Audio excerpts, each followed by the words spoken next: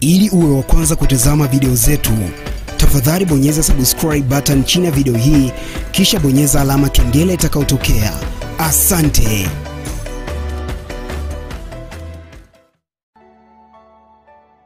Alikuwa mdhibiti na mkaguzi mkuu wa hesabu za serikali CAG Ludovic Uto amewashauri watu ambao hawajaridhishwa na ripoti ya CAG Profesa Musa Asad kufuata utaratibu uliowekwa kikatiba na kisheria wa kuipinga ripoti hiyo. Uto amesema kuwa katiba inaelekeza mtu anaipinga ripoti ya CAG kuwasilisha malalamiko yake mahakama kuu. Hapa na nukuu, mahakama kuu ndiyo itachunguza kuona kama ukaguzi wa CAG pamoja na ukamilifu wake umefanywa kwa utaratibu unaokamilika. Na Mwananchi ilimkariri Mheshimiwa Uto. Lakini pia kauli hiyo imekuja wakati ambapo kumetokea mgongano wa kimtazamo kuhusu ripoti hiyo iliyowasilishwa bungeni ambapo waziri wa mambo ya ndani Kangi Lugola alieleza bunge kuwa ripoti ya CAG haikusema ukweli kuhusu kutonunuliwa kwa sare za jeshi la polisi. Hatua hiyo ilizua mijadala hasa baada ya waziri Lugola kueleza kuwa sare zilizodaiwa kuwa hazipo amezishuhudia kwenye magodown ya jeshi hilo, hivyo alisema CAG ni muongo. CAG katika ripoti yake ya mwaka wa fedha 2017-2018 alisema hakukuwa na ushahidi wa manunuzi ya sare za jeshi hilo zilizogharimu shilingi bilioni 16.6. Alisema malipo ya fedha hizo yalifanyika, lakini hakuna ushahidi wa kihasibu uliowasilishwa wakati wa ukaguzi. Lugola aliweka kiapo akipinga maelezo ya CAG na aliahidi kuvua nguo endapo itathibitika kuwa alichosema yeye siyo cha kweli. Lakini pia itakumbukwa kuwa mdhibiti na mkaguzi mkuu wa hesabu za serikali CAG Profesa Musa Asad alibua tuhuma za kuwapo kwa matumizi mabaya ya madaraka ndani ya Chama cha Mapinduzi CCM na Chama cha Demokrasia na Maendeleo Chadema. Akizungumza na waandishi wa habari mjini Dodoma Aprili kumi mwaka elfu mbili na kumi na tisa, Profesa Asad alisema vyama hivyo viwili na vingine saba vimefanya makosa makubwa ya kihasibu yanayoweza kuingiza taifa katika hasara ya mabilioni ya shilingi. Akichambua chama kimoja bara kingine, Profesa Sada amesema Chadema kimenunua gari aina ya Nissan Patrol kinyume cha taratibu na manunuzi na baadaye kutaka kuliondoa kwenye umiliki wa chama kinyume na taratibu. Katika taarifa yake hiyo, Profesa Sada alisema tarehe 30 Machi 2017 bodi ya wadhamini ya Chadema iliingia mkataba na AMC Tanzania Limited kwa ajili ya ununuzi wa gari jipya aina ya Nissan Patrol Y61 GRX kwa bei ya dola za Kimarekani 63720 ambayo ni sawa na milioni 147 laki saba sitini elfu na themanini. Anasema kifungu cha kwanza cha mkataba huo kinaelekeza kuwa gari hilo litakalonunuliwa lisajiliwe kwa jina la bodi ya wadhamini ya chama hicho. Hata hivyo, mdhibiti na mkaguzi huyo wa hesabu za serikali aliweza kusema yafuatayo: kinyume na masharti yaliyomo kwenye mkataba, ibara ya kwanza, gari hilo lilisajiliwa kwa jina la mbunge. Alisema hata baada ya kupitia rejista ya mali za chama ilibainika kuwa hakuna kumbukumbu za gari aina ya Nissan Patrol Y61 GRX lililosajiliwa kwenye rejista za mali ya Chadema, pamoja na gari hilo kununuliwa na fedha za chama na kutumika na Chadema. Aliweza kuongeza na kusema zaidi ya hayo, gari lililonunuliwa liliingizwa kwenye taarifa za fedha za chama kama mkopo uliotolewa kwa mbunge bila makubaliano yoyote kati ya mbunge na bodi ya wadhamini ya Chadema. Hapa na nukuu, nilibaini kuwapo kwa mawasiliano ya barua kati ya mbunge wa Chadema kuhusu kusitishwa kwa mkataba wa mkopo na urejeshwaji wa gari hilo. Jambo hili lilitokea mapema tu baada ya kutoa hoja ya ukaguzi, aliweza kueleza Profesa Assad. Lakini pia anasema yafuatayo: hata hivyo, wakati wa ukaguzi wangu Februari 2019 mkataba wa mkopo huo haukuwasilishwa kwa ajili ya ukaguzi. Kwa maoni yangu ni kwamba kuonyesha thamani ya gari kama mkopo kwa mbunge kunapotosha utumiaji wa taarifa za fedha za chama. Kutokana na hali hiyo, CAG ameelekeza kuwa usajili wa gari hilo aina ya Nissan Patrol Y61 GRX yenye rangi nyeupe ufanyike kwa jina la mmiliki ambaye ni bodi ya wadhamini ya Chadema na deni hilo la takribani milioni 150 liondolewe kwenye taarifa za fedha za chama. Haya yanajiri katika kipindi ambacho Chadema kimeshindwa kujibu kwa ufasaha madai ya CAG ya mwaka uliopita ambako chama hicho kilidaiwa kuwa kimetengeneza madeni hewa na makusanyo yasiyoingizwa kwenye akaunti zake.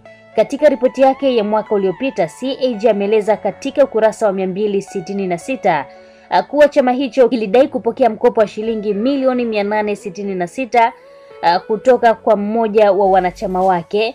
Mkopo huo haukubatilishwa na bodi ya wadhamini wala kupokelewa kwake. Fedha hizo zilidaiwa kulipwa kwa mwanachama huyo kwa niaba ya chama nje ya deni hilo kwa ajili ya mabango na shilingi milioni 765 zililipwa kwa mwanachama kama marejesho ya fedha hizo bila kuambatanisha makubaliano ya kisheria. Kwa upande wa Chama cha Mapinduzi CCM, Profesa Sada amesema ofisi yake imebaini kuwa hakikuwasilisha michango yake ya wafanyakazi ya kila mwezi kwa mfuko wa taifa wa hifadhi ya jamii NSSF.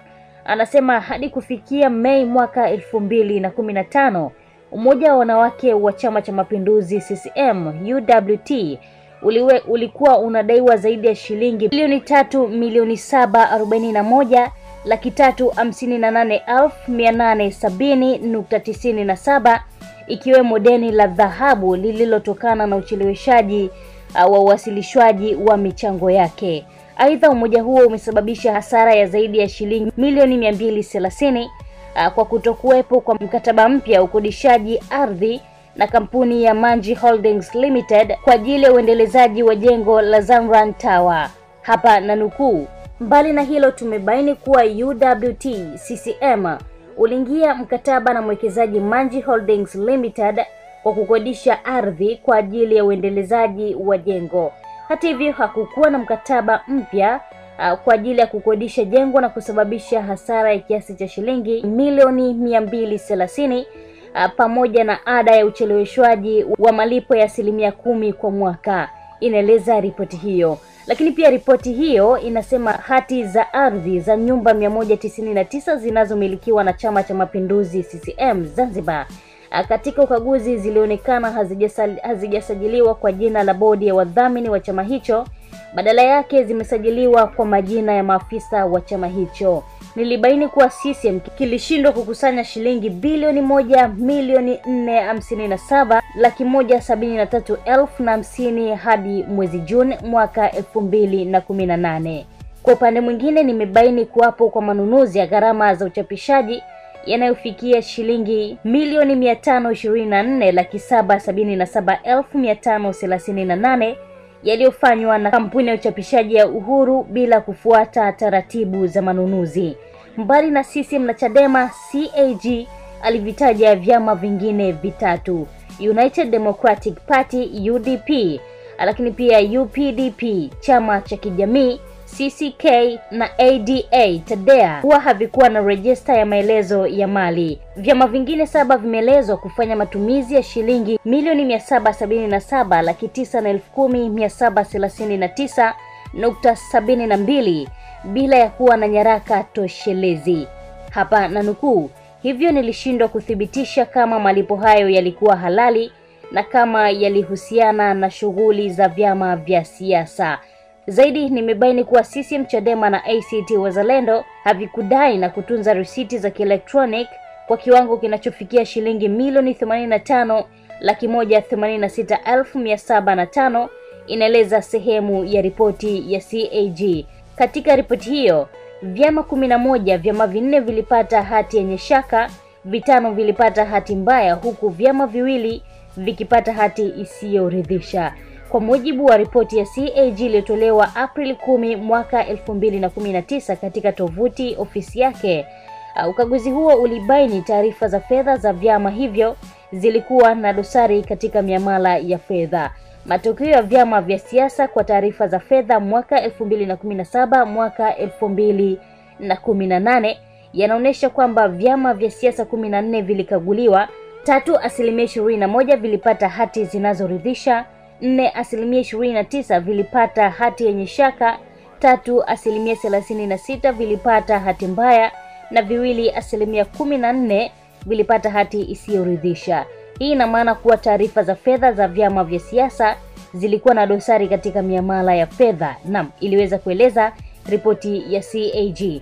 Pia ukaguzi huo umebaini vyama vitano ikiwemo CCM, UDP, UPDP, TKK na ADA TADEA havikuwa na rejista ya maendeleo ya mali huku vyama saba vikifanya matumizi ya shilingi milioni 777 laki9 na elfu kumi mia saba thelathini na tisa nukta sabini na mbili bila ya kuwa na nyaraka toshelezi. Ripoti hiyo kuwa Chadema kilinunua magari yenye thamani zaidi ya shilingi bilioni mia moja sabini na mbili pasipokuwa na nyaraka au thibitisho uh, wa kupokelewa hadi wakati wa ukaguzi wa mwezi Januari mwaka huu. Aidha, ripoti hiyo imebainisha kwamba vyama vya CCM, Chadema na ACT Wazalendo havikudai na kutunza risiti za kielektronic kwa kiwango kinachofikia milioni 85 laki moja na elfu themanini na sita mia saba na tano. Hapa na nukuu, pia nimebaini kuwa SAU hakijateua bodi ya wadhamini. Vilevile taarifa za fedha kutoka SAU, UPDP, UMD, ADA, TADEA NLD na AAFP zilikuwa haziendani na mfumo wa mwongozo dhanifu wa viwango vya kimataifa vya uandaaji wa hesabu za umma. Kadhalika, baka la madeni yanayofikia milioni 85 laki tatu sitini na sita elfu yaliyoelezwa kwenye taarifa za fedha za NSSR mageuzi hayakuwa na nyaraka za kuthibitisha. Kufuatia dosari hizo zilizojitokeza kwenye ukaguzi wa CAG, Profesa Musa Asad amependekeza vyama vya siasa kuhakikisha udhibiti uh, unaanzishwa na kuimarishwa hasa kwenye malipo ili yote yawe na vielelezo na nyaraka toshelezi zikiwemo risiti za kielektronic.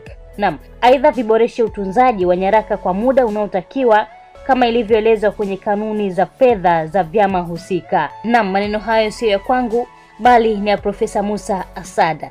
Asante sana kwa kuwa nami mwanzo mpaka hapa anaposema bye bye. Naitwa Maria Alphonse. See you next time.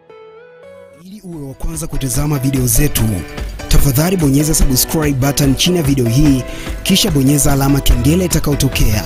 Asante.